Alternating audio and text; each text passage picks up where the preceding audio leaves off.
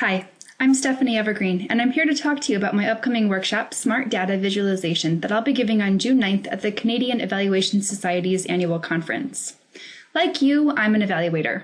I also work for the American Evaluation Association as their e learning initiatives director, and I just generally end up at a lot of conferences, both in the field of evaluation and elsewhere.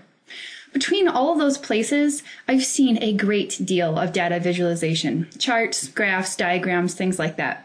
And like you, in my heart, I know what's presented is interesting and potentially useful, but sometimes to my eyeballs, it can be uh, tedious to engage.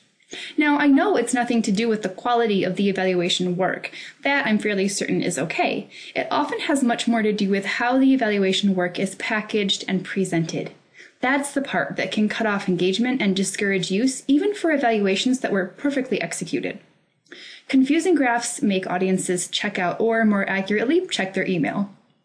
My workshop, Smart Data Visualization, is about using research based principles around graph design to support a more intentional communication of data and increase stakeholder engagement and interpretation and memory.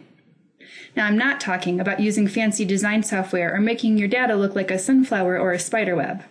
I am talking about how to use simple tools like Microsoft Office to ramp up the way you present data.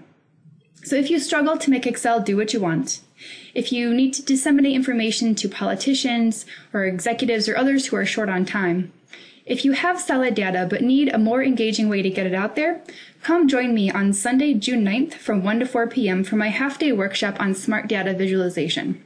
I'll show you the immediately implementable steps you can take to make your data shine. See you then.